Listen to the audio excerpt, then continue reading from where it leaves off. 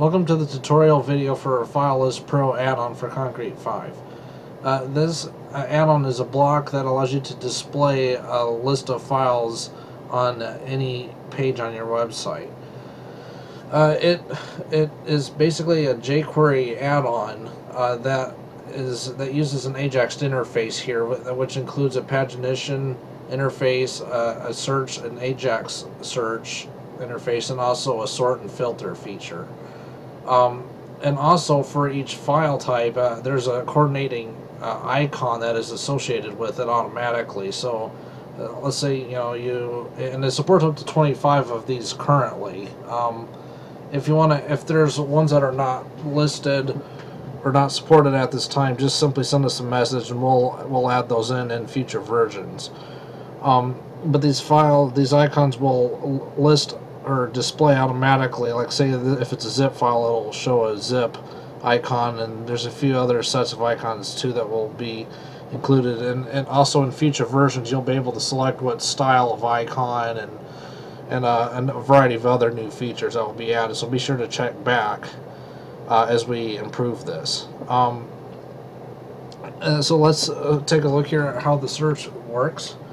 Let's say we want to search for uh, say a zip file.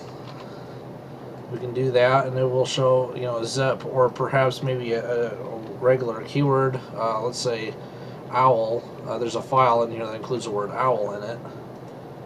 And again you know this is an mp3 file uh, here and it will show for that. So you can also you know just do simple letters. Go and, and that will you know, show whatever comes up.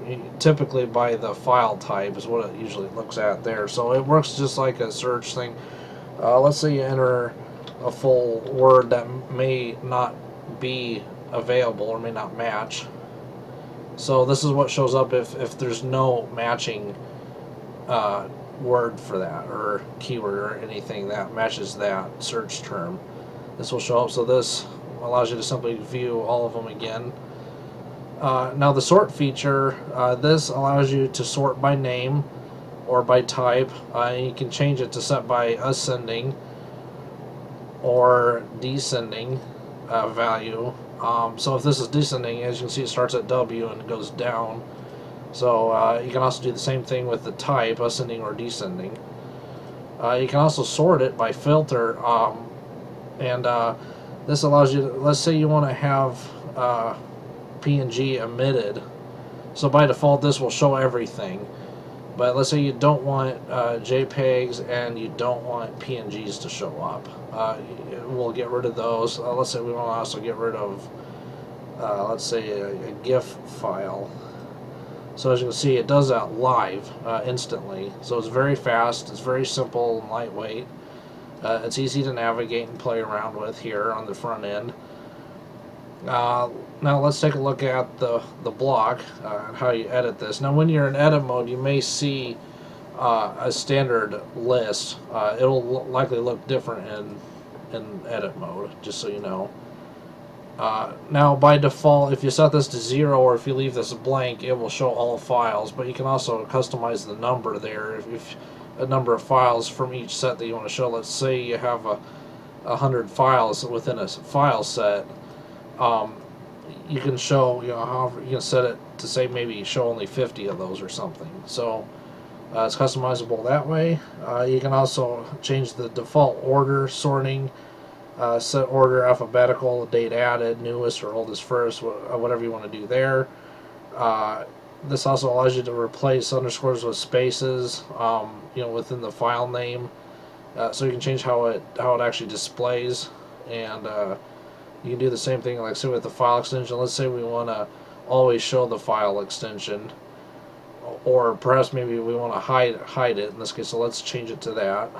Uh, then now on the design tab this allows you to specify how many files per page within the pagination interface you can do. So right now it's set to five so let's change that down to three. Uh, and then you can you know turn the file set title off or on if you want you can do the same thing with the file size so let's add that in let's add uh, also the date added and uh, also for the interface, you can change it to hidden or visible. So let's turn off the files, uh, the filter and the sort options. Let's save that. And now in edit mode, you may see, again, like I say, you, you may see this uh, happen, which is normal. Uh, go ahead and publish that, and then this is what you'll see. We've turned off the sort and filter.